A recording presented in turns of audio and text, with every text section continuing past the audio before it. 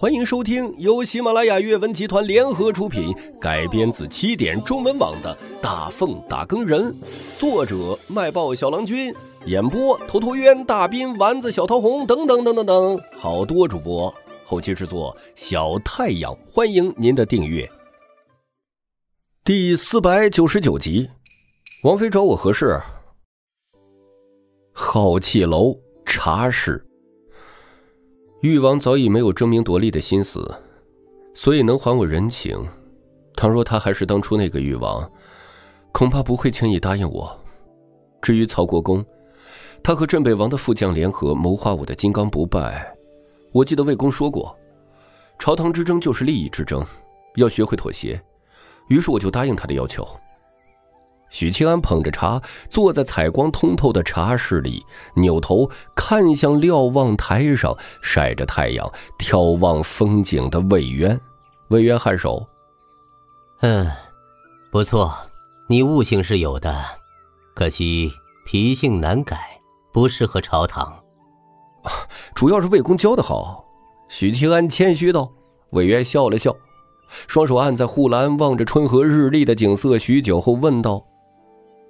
呵呵，科举舞弊案，你四处奔波，连衙门都没怎么待，辛苦了。但也学到了很多。许谦回应，呲溜喝了一口茶水。魏渊笑呵呵的，呵呵呵，领会我的要点。许白嫖愣了一下，有种不好的预感。辛苦。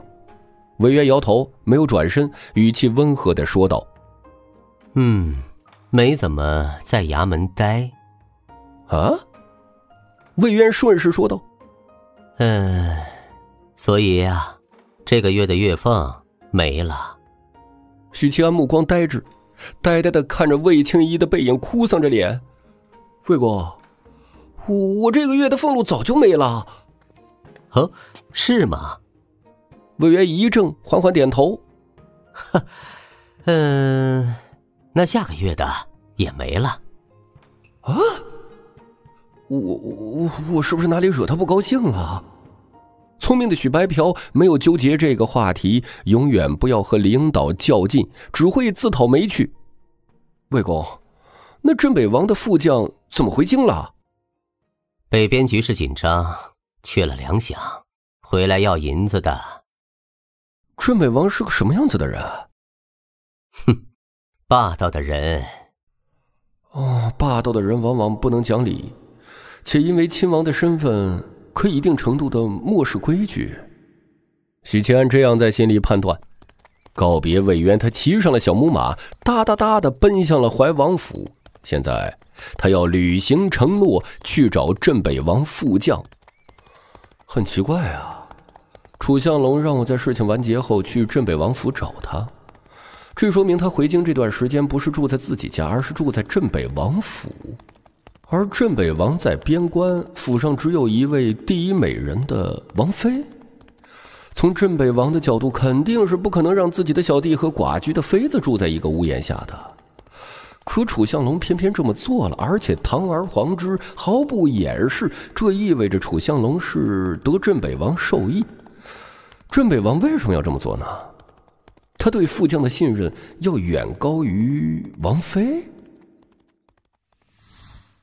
怀王府外厅，轻纱蒙面、穿着华美宫裙的女子坐在桌案上摆弄茶具。厅里浑身覆甲、腰挎佩刀的楚相龙昂然而立，目光锐利的盯着王妃，沉声说道：“听府上侍卫说，王妃。”无故失踪了两次。轻纱蒙面的女子充耳不闻，低头摆弄茶具，动作轻柔，姿态优雅。王妃是怎么瞒过府上侍卫的？又是如何瞒过司天监术士？您近来见了什么人？遇到了什么事儿？聒噪。轻纱蒙面的女子轻蹙眉头，声音高冷：“你在质问我？”啊，不敢。楚相龙低头，淡淡说道：“卑职这趟返京，除了问陛下讨要军饷，再就是接王妃去北边与王爷相见。您早做准备。”顿了顿，他抬起头，盯着女人灵动秀美的眸子。我这段时间都会在王府里待着，王妃想出门的话，卑职会全程陪同。蒙面女子默然不语。这时候，一名侍卫步入厅中，抱拳：“楚将军，阴罗许谦求见。”楚相龙颔首，看了王妃一眼，拱手抱拳，退出了大厅。许七安，他来王府做什么？蒙面女子低着头，眼睛转动，透着狡黠，不知道在想着什么。待客的大厅里，许七安坐在椅子上，手里捧着婢女沏的茶，脚边立着一个布袋，膝盖那么高。他安静的坐了几分钟，耳廓微动，听见了鳞片晃动的响声，紧接着便看见楚香龙跨过门槛径直入内。多谢楚将军和曹国公出手相助。许清安这话说的没诚意，因为他连起身都没有，边说着边喝了口茶。楚相龙并不在意，审视他一眼，目光随后落在许清安脚边的布袋。东西呢？许谦放下茶杯，打开布袋，露出一尊石雕的佛像，刀工极差，比初学者还不如呢。楚向龙的眼神顿时火热起来，灼灼的盯着佛像。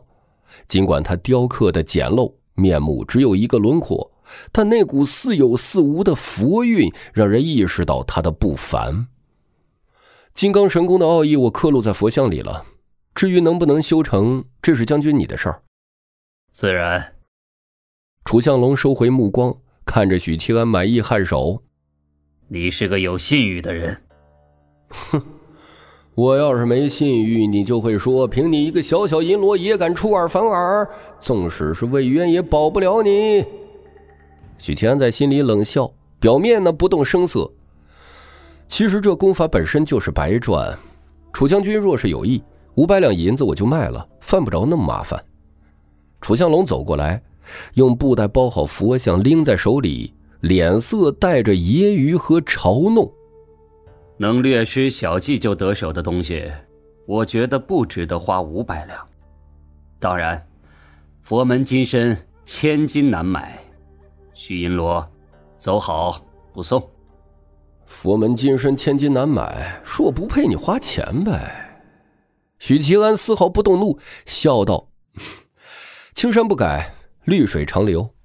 转身便走，刚行至庭院，便看见一位婢子匆匆而来。这位可是许七安、许银罗？嗯，正是在下。我家王妃想见你。镇北王妃要见我，大凤第一美人要见我。嗯，这个可以有啊。许七安对那位久负盛名的女子万分好奇。反正只是见个面，没大碍的吧？请姐姐带路。婢子带着许七安穿过曲折的回廊，穿过庭院和花园，走了一刻钟才来到目的地。那是一座四面垂下帷幔的亭子，隐约可见一道曼妙的身影坐在躺椅上，手里握着一卷书。许七安努力想看清她的容貌，却发现帷幔后还有一层面纱。你就是许七安。帷幔里传来成熟女性的嗓音，清冷中带有磁性。虽然看不清容貌，但是声音很好听。许七安抱拳：“王妃找我何事？”凉亭里的女人冷哼了一声：“听说你在午门外一人当百官，作诗嘲讽。”可有此事？年少轻狂，一时冲动，惭愧惭愧。你也会惭愧？呸！凉亭里的女人沉默了片刻。送客。嗯，就这。许谦有些茫然的看了一眼亭子里的女人，转身跟在婢女身后。就在这时，亭子里忽然掷出一锭黄澄澄的物件，咚的砸在许清安背上。啊！王妃为何砸我？许清安回过身来，低头看了一眼地上的黄金。他没有得到神诀对危险的预警，这意味着刚才没有危机，但他有些生气。亭子里的女人不搭理他。许清安眼里闪过疑惑，见王妃不解释，他便俯身捡起黄金，面不改色的揣自己兜里。下次王妃要砸我，记得用金砖。许七安嘲讽了一句，跟着婢子离开了。本集已经播讲完毕，感谢您的收听。更多精彩内容，请在喜马拉雅搜索“头陀渊讲故事”。谢谢。